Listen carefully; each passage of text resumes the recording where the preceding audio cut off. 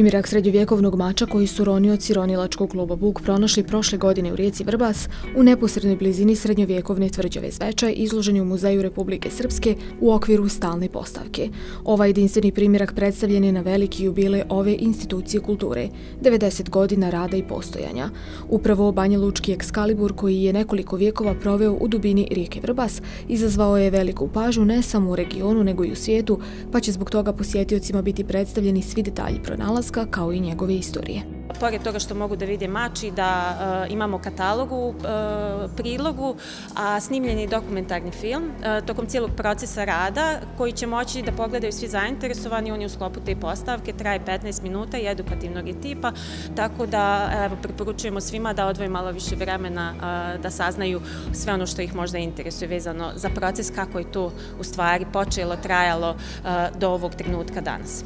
Mi ga možemo povezati na osnovu Dubrovačkih izvora sa eh, kraljem Stefanom Ostojićem iz Vladarske loze kod Romanića, To znamo na osnovu toga što je 1419. godine u martu mjesecu on u tvrđavi Zvečaj izdao jednu povelju, odnosno dokument Dubrovčanima kojim je potvrdio njihove trgovačke privilegije i na osnovu toga možemo da zaključimo da je Zvečaj u srednjem vijeku, tačnije u 15. vijeku, imao vrlo važnu ulogu kao kraljevska rezidencija.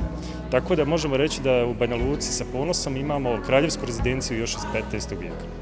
90 godina rada i postojanja je izuzetno veliki jubilej koji svjedoči o tome koliko su značajne institucije kulture u Republici Srpskoj, saglasi su restorni ministar Republike Srpske i prvi čovjek Banja Luke. Sigurno je da imamo čime da se pohvalimo.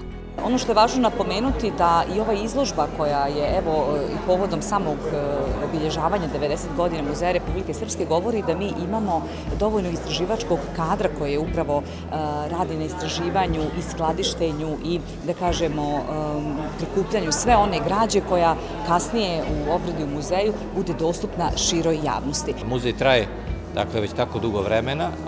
Ovdje se čuva veliko blago i istorijsko nasljeđe od prirodoslovne do istorijske zbirke.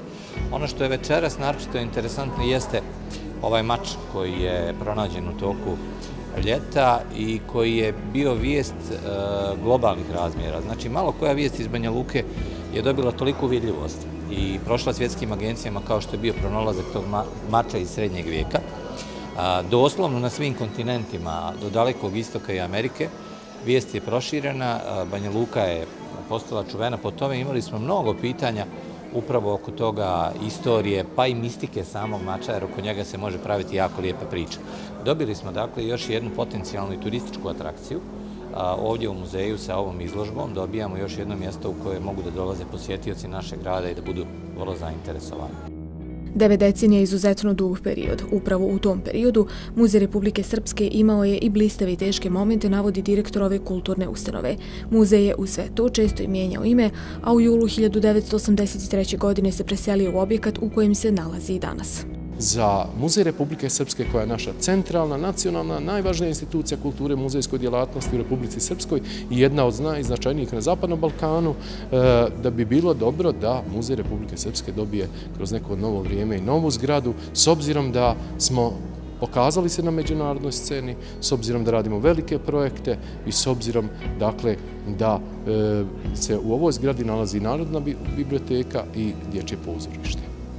Nema sumnje da će izložba Vrbaski mač u kamenu priča o Ekskaliboru biti prava atrakcija za sve posjetioce. Svojom bogatom postavkom Muzej Republike Srpske danas svakako predstavlja jednu od najznačajnijih republičkih institucija kulture, odnosno centralnu ustanovu zaštite kulturnih dobara.